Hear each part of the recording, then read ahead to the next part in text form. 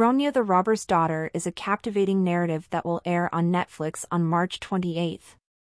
This wonderful story, based on Astrid Lindgren's classic novel, has been transformed into an exciting live-action television series. The story takes place in a medieval Scandinavian stronghold where Ronja, the only child of robber chief Mattis, is born amid a torrential thunderstorm. The castle is split by lightning, suggesting Ronja's exciting existence ahead.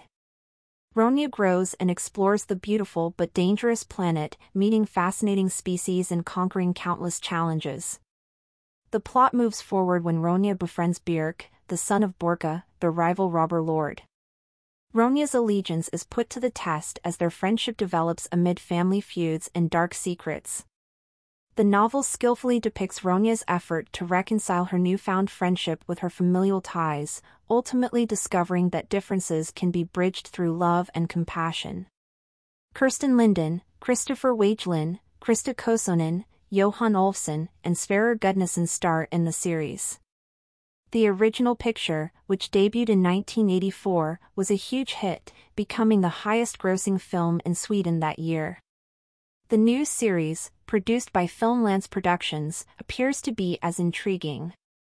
Ronja the Robber's Daughter is much than just an adventure and camaraderie narrative, it's also about human development, resilience, and self-discovery. It's a series that will keep you on the edge of your seat, anticipating the next surprise in Ronja's thrilling journey. Don't miss the launch on March 28th.